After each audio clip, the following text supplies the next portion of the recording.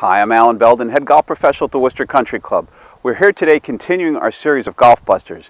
And today we're talking about how some people have the notion that they are not good enough to get custom fit for golf equipment. Nothing could be further than the truth. Custom fitting is for everyone, regardless of ability. A person who is 5 foot 3 inches tall can obviously not play an effective game of golf with clubs that have been fit for somebody who's 6'3 and vice versa.